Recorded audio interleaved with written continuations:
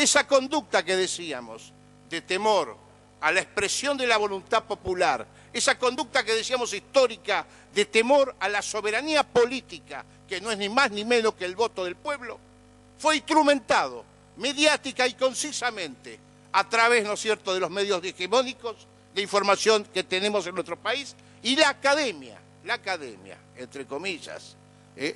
aquellos que gozan de ese prestigio académico en función del seguimiento de todo este sistema de doctrinas. Y se llegó al grado, y se llegó al grado de sostener que este proyecto lo que apunta es a una justicia permeable y adicta al poder.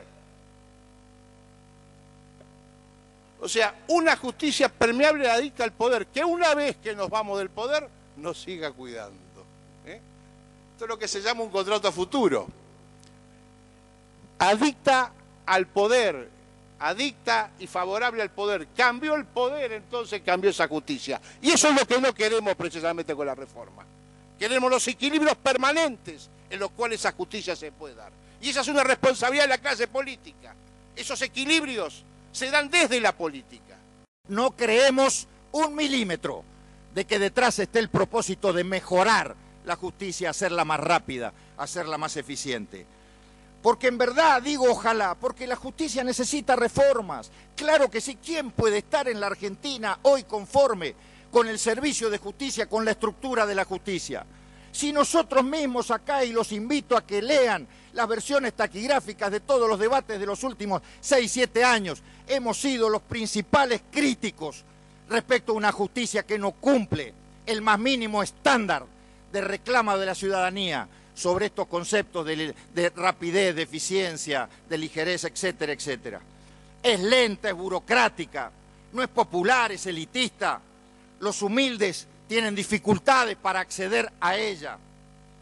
Nadie con buena fe y sentido común podría negar la necesidad de reformar. No hay ninguna posibilidad de que el Frente Amplio Progresista nosotros acompañemos este proyecto. Con, bronca lo digo. Con lástima, con dolor, porque son los temas, uno cuando, por la especificidad del trabajo y la tarea que uno desempeña en su vida, dice, ojalá que una vez cuando me toque estar en algún legado legislativo se trate un tema específico que tenga que ver con lo que yo hago toda mi vida. Y de esto es lo que yo vivo. Con esto alimento a mi familia, con esto le he dado el futuro a mis hijos, con esto la peleo todos los días. Y la verdad que me hubiese encantado poder acompañar y debatir toda esta cuestión.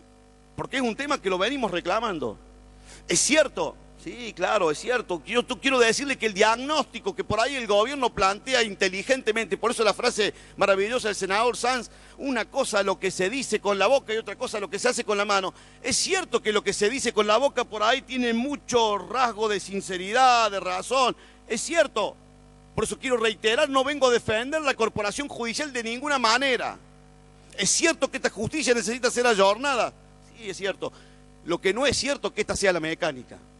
Nosotros vamos a votar afirmativamente este proyecto desde el bloque Nuevo Encuentro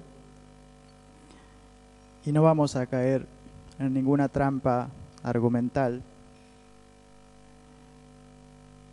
que esconde lo central, que es lo sencillo, poder habilitar la participación popular en la selección de algunos consejeros de la magistratura.